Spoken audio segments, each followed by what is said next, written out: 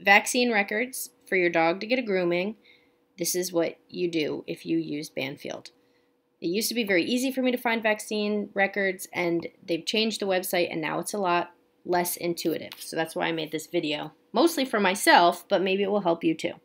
So when you go to your main page and you go to your dog's page, I've wanted to go to like view pet records or see details for vaccines. Don't go there, that'll lead you astray. You want to go to this see pro full profile link.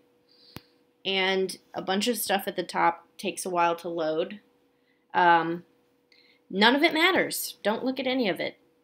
Scroll past upcoming visits, scroll past vet chat, scroll past the Banfield shop, scroll to where you think you've gone too far, and that's where you'll find PDFs for groomers and boarders. You click on that, and then you'll see your vaccine history and you can download it as a PDF, which is probably what the groomer's going to want. What a pain in the ass. Banfield, you kind of suck, but that's how you do it. Until they make it some other way, I'll use this video to refer back to how to do this.